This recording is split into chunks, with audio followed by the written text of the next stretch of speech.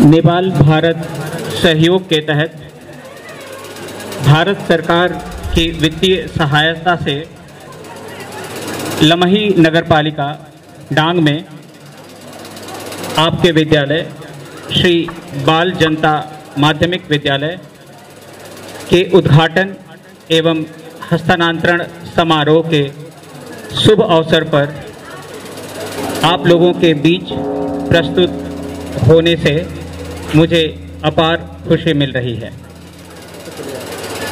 भारत सरकार के अनुदान का प्रयोग इस विद्यालय में दो मंजिल भवन, प्रयोगशालाओं के निर्माण, प्रयोगशाला में उपकरणों के लिए, फर्नीचरों के लिए तथा अन्य सुविधाओं के लिए किया गया।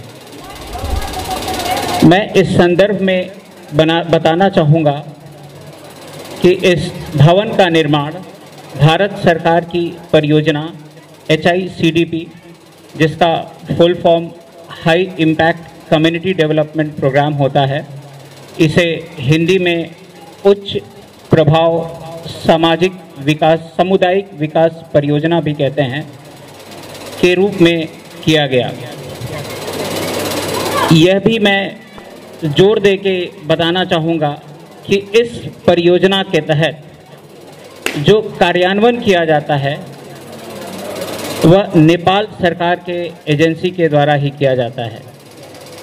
और इस केस में जिला समन्वय समिति डांग के द्वारा किया गया।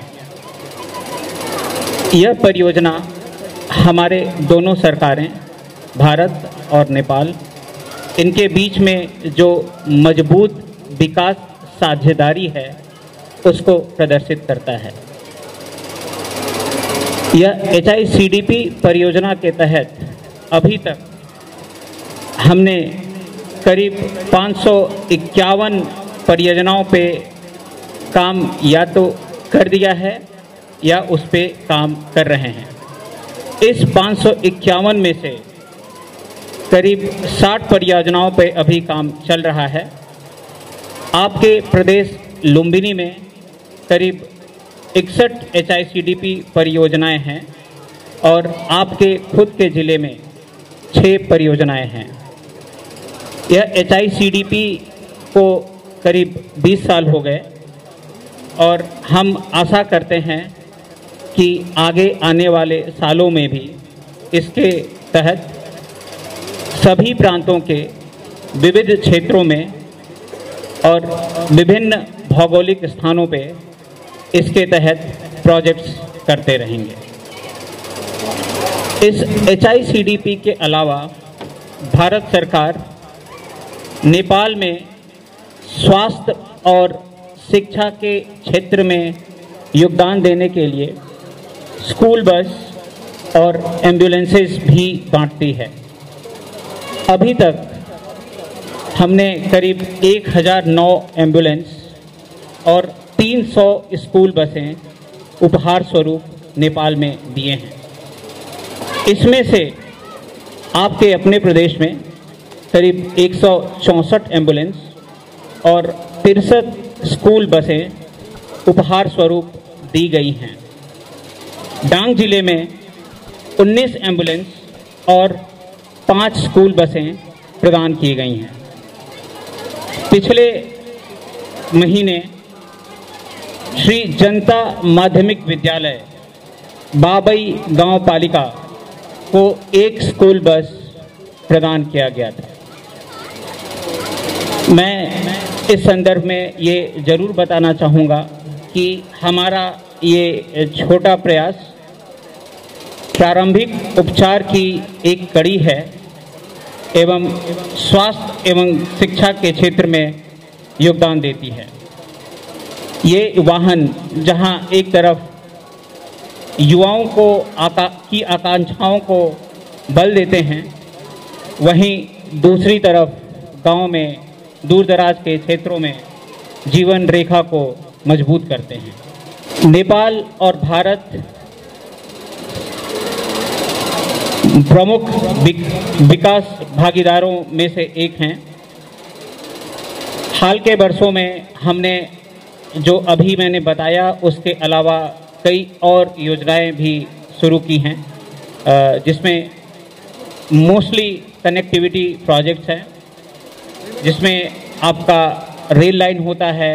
आज दुई हज़ार त्रिसठी सालमा तत्कालीन भारतीय नेपालका लागि भारतीय राजदूतावासका राजदूत महामहिम राजदूत शिवशङ्कर शङ्कर मुखर्जीबाट शिलान्यास भई यो भवन तत्कालीन जिल्ला विकास समिति मार्फत सम्पन्न भएको भवन हो र आज अत्यन्त हामीलाई खुसी लागेको छ।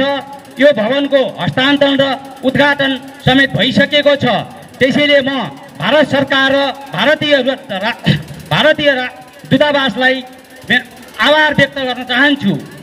र भारत ने भारत नेपाल छिमेकी देशका मित्र राष्ट्रहरू हुन्।